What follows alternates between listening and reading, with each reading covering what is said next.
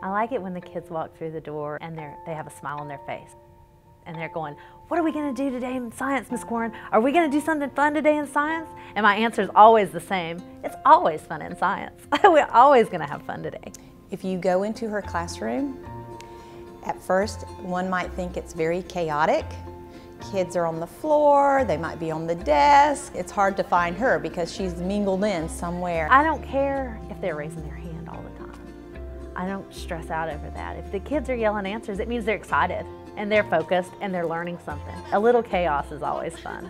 She does a great job of, we call hooking the students with an activator and making them want to know more about it to inquire more, to ask questions. We start out with Walter the Worm. They have to figure out how to get a gummy worm inside a gummy saver, and they're given paper clips. They talk about it all year long. They still talk about Walter the Worm.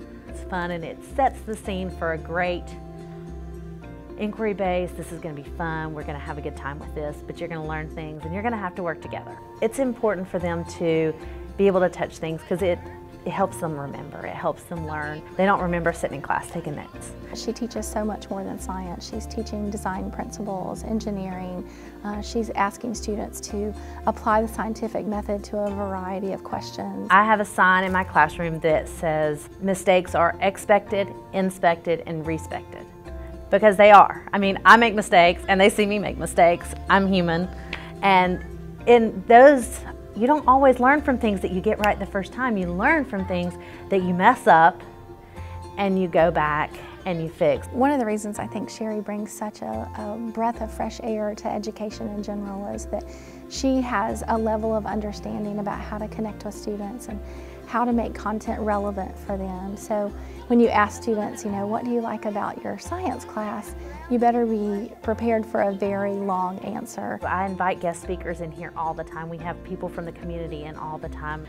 I enjoy having people in and making an impact. They are so engaged by what they're doing. They're already thinking as fifth graders about the career options that they have. If I could clone her, I would because I would want to be in her classroom. I would want my child to be in her classroom.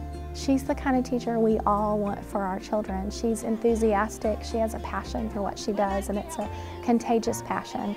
Um, no student's going to leave her room without A, learning something, and B, being excited about that learning. I believe that what happens in the four walls of her classroom should be happening in every classroom across our state. So when you're looking for a model of an excellent STEM teacher, I think Sherry exemplifies that, um, and I think her students would, would echo that sentiment.